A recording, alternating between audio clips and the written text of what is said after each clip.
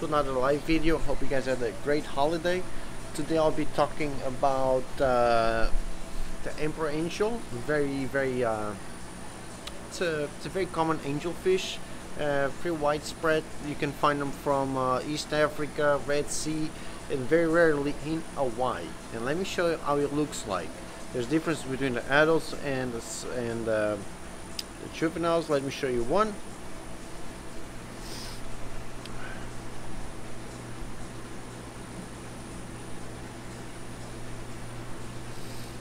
Right there, there's one. Beautiful, right?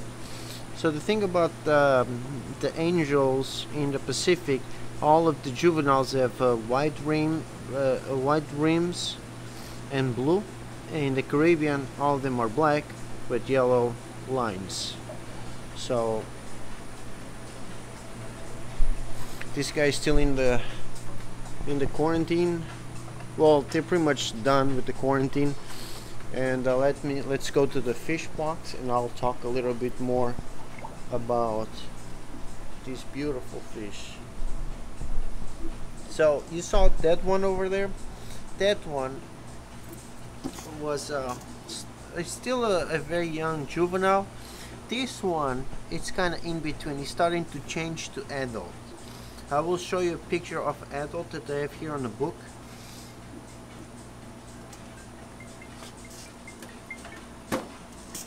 so this is how they look when they are adults. Right now I don't have any but uh, I'm working on getting a few but they go from the way you saw it the way you see it and then it starts changing and changing.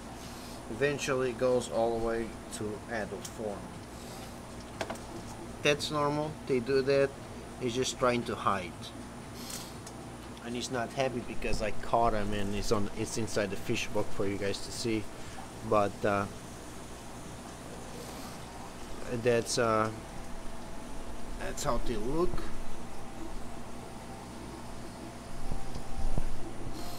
Uh, all right.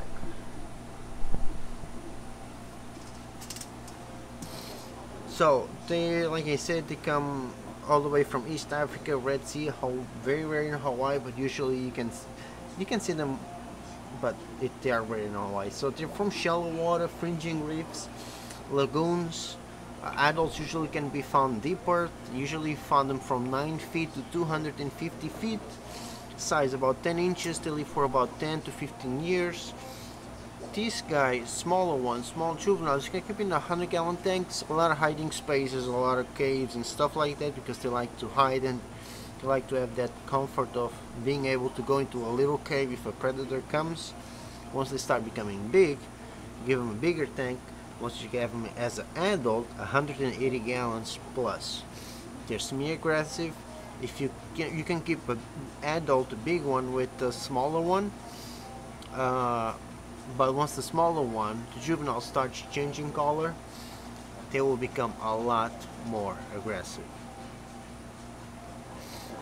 Uh, what else? Feedings. They are omnivores, so they will eat pretty much uh, anything. Small crustaceans, uh, sponges. In a while, they also eat tunicates, but tunicates are very hard to to get so if you have a very well established tank, usually you can find them.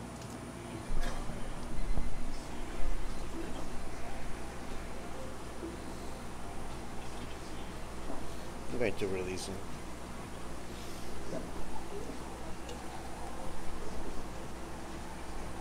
You can keep them with other angels like I have that. That's a flagfin angel.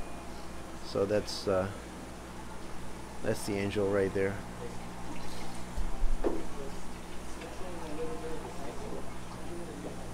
So right now, right now he's under that crate. So like I said, they like to be under something and crevices, especially if they are juveniles.